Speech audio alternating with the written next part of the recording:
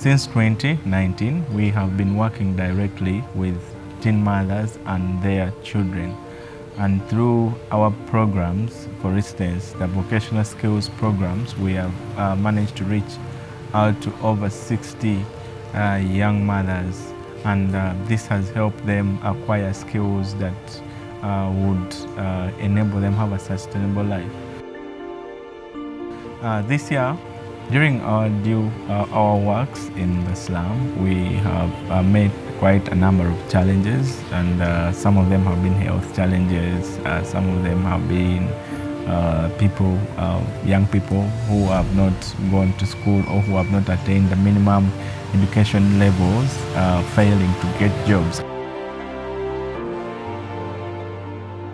And we are coming out with solutions and among them uh, the vocational skills that provides them an alternative way to earn a living.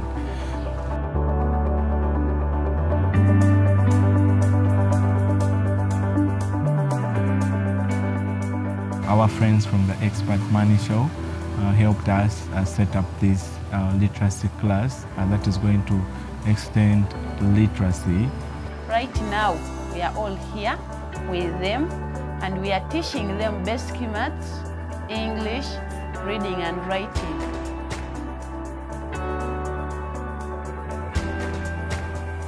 Literacy class have made me to know how to read and to write and also I'm in tailoring.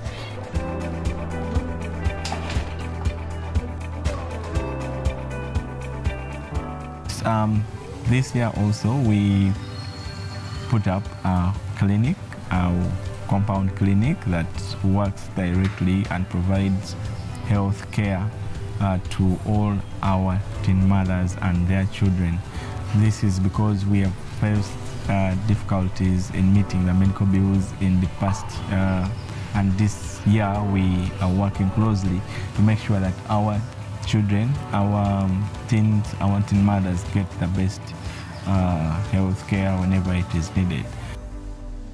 I send my sincere thanks to Expert Man community who has put in their effort to make sure that we have a literacy class which has helped us